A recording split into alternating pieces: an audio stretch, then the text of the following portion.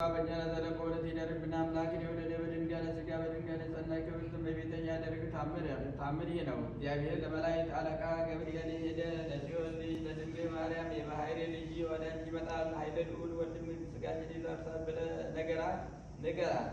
ይኸውም ከአንቺ የሚወለድ ጾም ነው ብለህ ነገራት አለው።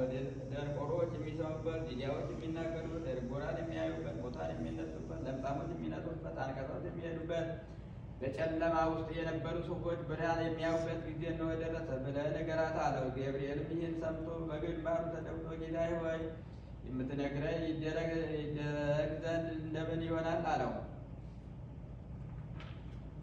ጌታም የጀመርኩትን ቸርነት ፈጸም፣ የወይን ግንድ ይቆረጣል፣ ክርስቶስ የሞተ ወይም ወይራም ከበለስ ጋር ይተከላል፣ መስቀልም ይተከላል፣ ቅጥሮች ይከሰራሉ አለም ከሃይማኖት ጋር የተሰራ የኤሌፍና የኤሌሜ ወገን ይነግሳ። ገብርኤል ሆይ ለዳዊት ልጅ ገብርኤል ለዳዊት ልጅ እግዚአብሔር ከአንቺ ጋራ አለና ደስ ይበልሽ በላት አለው። የዘላለም ነግሶ የሚኖረው እንሆ ትጸንሻለች። መልአኩ ገብርኤል ይህን ሰምቶ ሰገደ። ልብሱንም በላዩም ልብሱንም በላዩ ይዞ በመስቀል ቀኝ ይወርድ ዘንድ ወደደ። ጌታ መግባትና መግባትና መውጣትህም በፍቅር አንድነት ይሁን አለው።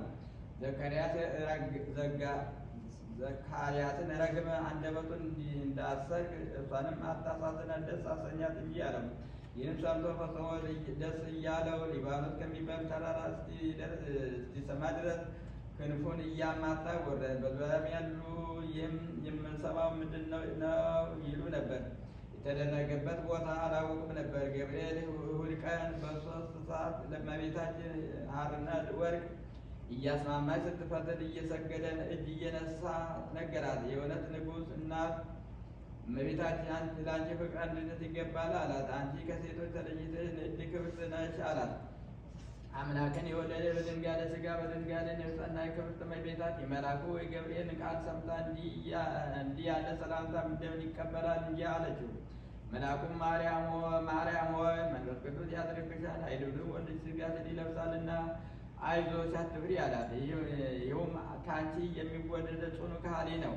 ስሙም ወገኖቹን ከኃጢአታቸው ፍዳ ፍጹም የሚያድናቸው ኢየሱስ ይባላል። እመቤታችን የሁሉ ጌታ ገረዶ ነው አሉ እንደ ቃል ይሁንልኝ አለችው። ያም መልአክ ከእሷ ሄደ ተሰወራት። አካላዊ ቃልን በማኅፀኗ ውስጥ አደረ። በዚያች ሰዓት የፊቷ መልክ ተለወጠ፣ እንደ ፀሐይም አሸበረቀች። ልመኗ ክብሯ በእውነት ለዘላለም በእኛ ላይ ይደርብን።